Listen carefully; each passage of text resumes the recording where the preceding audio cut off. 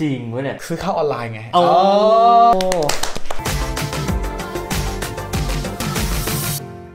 สวัสดีครับ ผมเปรม BorntoDev ครับผม และพี่ไกด์เองครับอ่าวันนี้นะช anel ของเราจะมาสอนทำ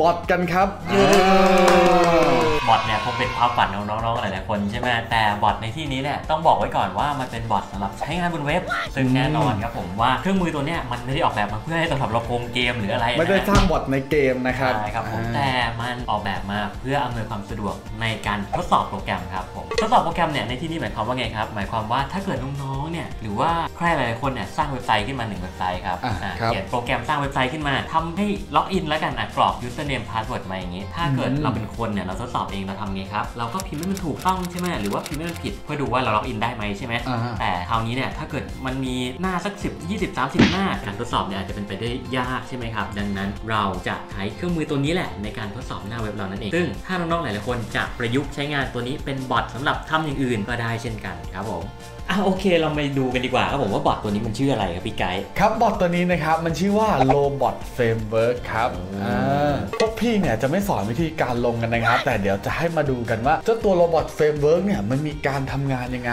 นะครับเราสามารถสั่งให้มันทำงานยังไงได้บ้างเออวันนี้เรามีตัวอย่างมาโชว์กันด้วยเลย สั่งให้มันไปซื้อข้าวอะไรอย่างเงี้ยก็ได้ครับจริงเว้ยเนี่ยซื้อข้าวออนไลน์ไงโอ้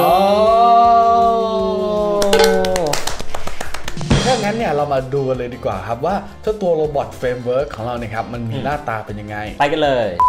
อะก่อนที่เราจะมาเริ่มกันนะครับเดี๋ยวจะให้ดูเว็บที่พี่ทำไว้ก่อนละกันอืมสมมุติละกันนะครับว่าน้องเนี่ยมีโปรเจกต์เว็บของน้องง่ายอืมๆอะหน้านี้คือหน้าล็อกอินระบบง่ายๆเลยเดี๋ยวเราอยากจะเขียนระบบเข้ามาช่วยตรวจสอบซิว่าล็อกอินเนี่ยของเรามีถูกมีผิดมีบอกอะไรอย่างนี้ไหมนะครับถ้างั้นลองล็อกอินกันก่อนดีกว่าว่า ตอนนี้เนี่ยล็อกอินแล้วเป็นยังไงนะครับอ่าจัดไปใส่ username ลงไปเลยครับจัดไปในที่นี้เป็นเดโมโอ้นะครับพาสเวิร์ดกูด ไม่บอกครับ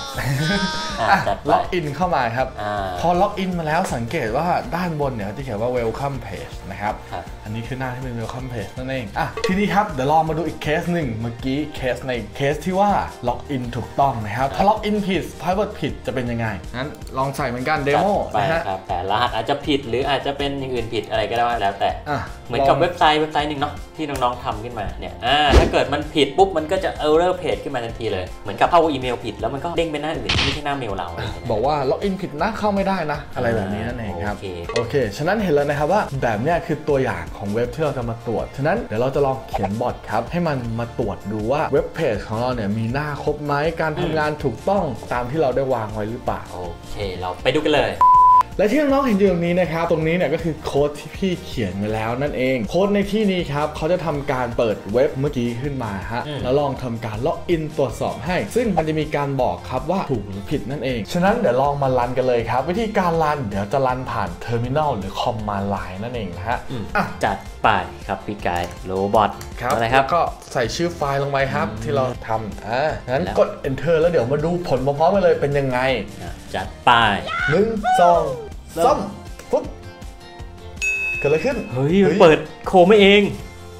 อ๋อเกิดอะไรเฮ้ยขึ้นเฮ้ยมือไม่ได้อยู่บนคีย์บอร์ด เฮ้ยมันพิมพ์อะไรวะ มันพิมพ์เองมันพิมพ์เองเฮ้ยอ่าเห็นไหมเห็นไหมกดล็อกอินเรียบร้อย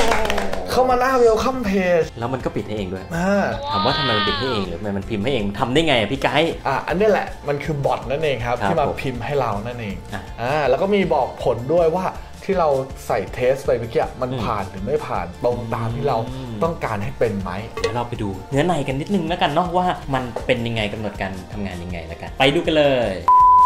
อะมาที่ไฟล์นะครับ ตรงนี้จะเห็นว่าจะมีไฟล์อยู่สองไฟล์ ไฟล์ฝั่งอืมซ้ายกับไฟล์ฝั่งขวา ซึ่งตรงนี้เนี่ยฝั่งซ้ายคือตัวเรียกใช้ครับอืมอ่าแล้วด้านขวาเนี่ยก็คือตัวเนื้อในโปรแกรมที่เราสั่งให้มันนั่นเองอ่าอืม หลายคนอาจจะบอกว่าโอ้ยพี่มาแค่นี้ก็ดูลายตาอะ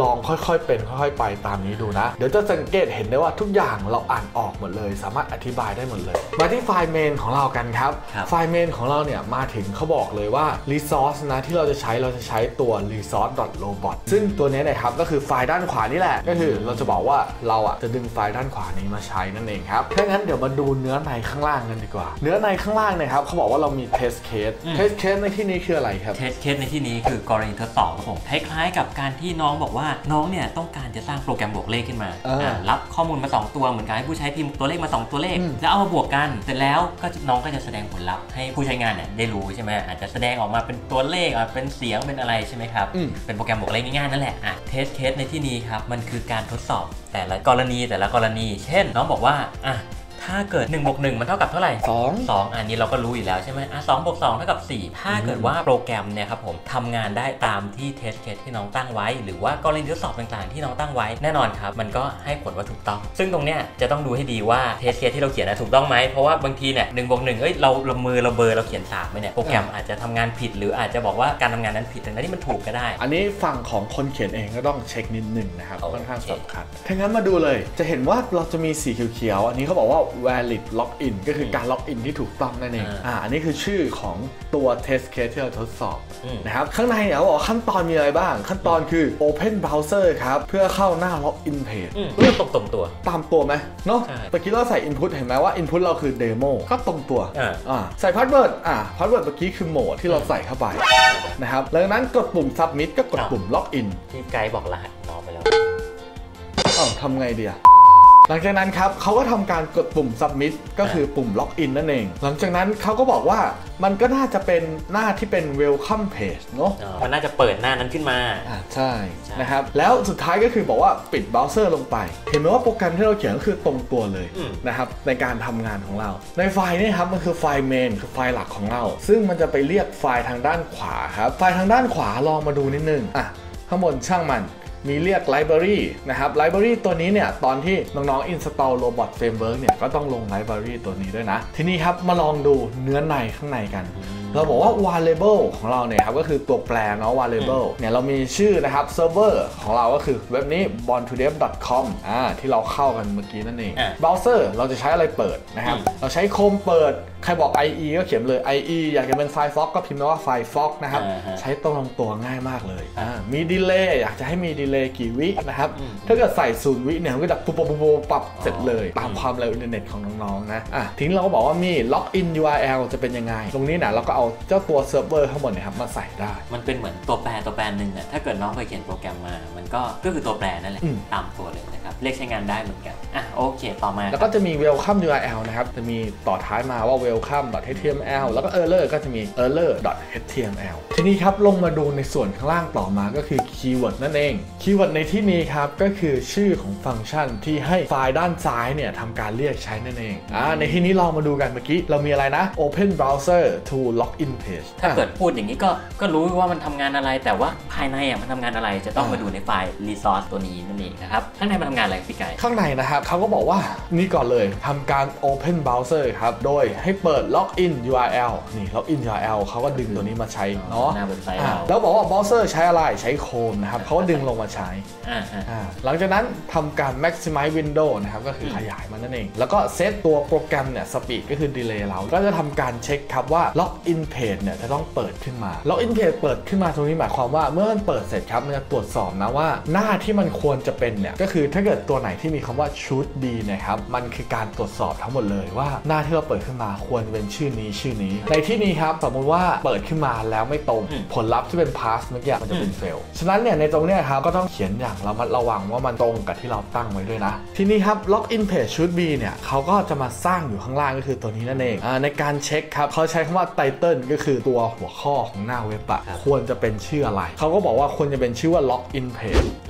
สังเกตตัวนี้อยู่ตรงไหนครับ มันคืออยู่ด้านบนสุดของเบราว์เซอร์คือตรงนั้นนั่นเอง หรืออันสุดท้ายนะครับ อันสุดท้ายที่เราทำกัน ก็คือหลังจากที่เรากดล็อกอินเสร็จแล้ว มันจะต้องมีการตรวจสอบใช่ไหมว่ามันเข้ามาสู่หน้าเวลคัมไหม มัน error หรือเปล่า ตรงนี้นะครับ มันก็จะบอกว่าเนี่ย location should be จะต้องเป็น URL นี้นะ อ่า ก็คือ URL ที่มัน slash welcome html แบบนี้นั่นเอง อ่า แล้วก็ title ก็ควรจะเป็น welcome page นี้เป็นต้น ซึ่งแน่นอนครับผมสิ่งที่น้องๆเห็นคืออะไรครับ keyword ตรงนี้นั่นเอง keyword ตรงนี้ไม่ใช่แค่เรียกใช้ช้งานได้ในหน้า main มันเท่านั้น แต่มันสามารถเลือกใช้งานตรง resource ของมันได้เหมือนกันครับอืมเราจะสังเกตเห็นได้ว่าบรรทัดที่ 2 login page should be open ตรงนี้ มันก็คือเหมือนกับเป็น keyword keyword หนึ่งที่เรากำหนดการทำงานมันในบรรทัดที่24นั่นเองเนี่ยเห็นไหมบอกว่าอ๋อมันจะต้องเป็น login page ก่อนเท่านั้นนะแน่นอนครับมันเหมือนการเขียนโปรแกรมปกติเลยใช่ไหมครับพี่ไกด์ใช่ครับเหมือนการเขียนฟังก์ชันปกติเลยนั่นแหละก็คือเราเขียนฟังก์ชันมาหมดปุ๊บแล้วเวลาเรียกใช้เราก็เรียกใช้งานมันในส่วนของ main ส่วนของอะไรก็ว่ากันไปนะครับอืม และหวังว่าครับผมความรู้ทั้งหมดของวิดีโอตอนนี้น่าจะเป็นประโยชน์มากเลยกับน้องๆที่กำลังเรียนปี3ปี4หรือทำโปรเจกต์จบอยู่อะไรอย่างนี้อืมเพราะว่าเรื่องพวกเนี้ยมันทำให้โปรเจกต์ของน้องอะดูมีประสิทธิภาพมากขึ้น โปรแกรมน้องที่ทำมาเนี่ยมันจะสามารถทำงานได้ถูกต้องมากขึ้น และน้องเนี่ยไม่ต้องเสียเวลาในการไปนั่งทดสอบทีละอันทีละอันเองใช่ไหมพี่ไกด์ใครที่เคยเขียนโปรแกรมเองเนี่ยจะรู้ว่าการที่เขียนโปรแกรมเสร็จรอบหนึ่งแล้วต้องมานั่งพิมพ์เทสทุกครั้งอะไรเงี้ยเป็นอะไรที่น่าเบื่อและเสียเวลามาก ใช่ครับ ดังนั้นแล้วหวังว่าจะฝากเครื่องมือตัวนี้เล็กๆน้อยๆนี้ลองเอาไปใช้กันดูนะครับผมเดี๋ยวลิงก์ด้านล่างเนี่ยก็จะทิ้งไว้ละกันนะครับสำหรับ Robot Framework ตัวนี้สำหรับตอนนี้ก็ขอบคุณมากครับสำหรับการติดตามสำหรับการรับชมครับยังไงก็แล้วแต่อย่าลืมติดตามกันนานๆกดไลค์แล้วก็กด Subscribe ด้านล่างด้วยนะครับเพื่อเป็นกำลังใจให้พวกเราเนาะแล้วพบกันใหม่ในตอนหน้าอยากให้สอนอะไรต่อพิมพ์ไว้ด้านล่างเลยครับสำหรับตอนนี้ขอบคุณมากครับ สวัสดีครับ บ๊ายบาย เย้